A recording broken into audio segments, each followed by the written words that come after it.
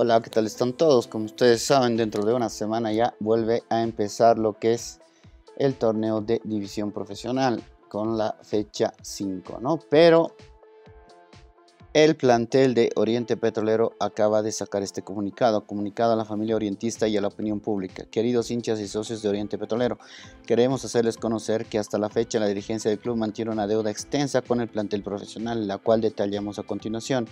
Dieguito Rodríguez, cuatro meses. Alejandro Torres, cuatro meses. Antonio Sandoval, seis meses. Marcos Riquelme, ocho meses. José Vargas, cinco meses. Carlos Enrique Áñez, cinco meses. Jorge Enrique Flores, siete meses. Junior Sánchez, siete meses. Franz González, siete meses.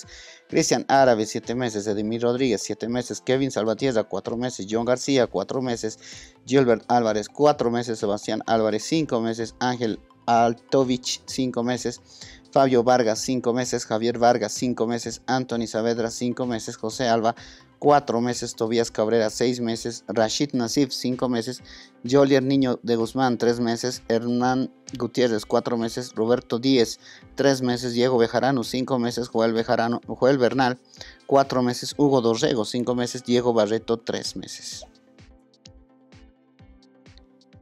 Esta deuda, sumada a la falta de respuesta del presidente Ronald Raldes, el tiempo de impago y los constantes incumplimientos a las promesas de cancelación hacen imposible desempeñar nuestro trabajo de la forma correcta.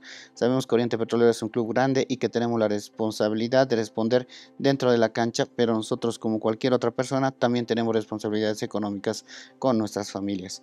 Nadie puede sobrevivir sin cobrar su sueldo, prestándose dinero para pagar las cuentas y con incertidumbre constante de no saber cuándo se nos va a cumplir con el pago.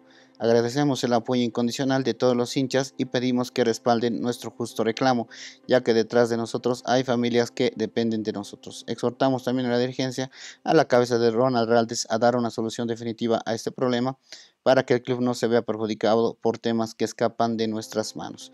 Nosotros también queremos lo mejor para el club, trabajamos día a día a pesar de no recibir los pagos pactados contractualmente. Hemos solo Hemos sido pacientes en esta dura situación, pero es el momento de que el socio e hincha del club sepa la realidad en la cual trabajamos. Atentamente, el plantel profesional. Pues bueno, así está Oriente Petrolero, uno de los clubes más grandes de Bolivia y de la ciudad más importante económicamente de Bolivia. ¿no? Así que vamos a ver qué pasa con esta situación.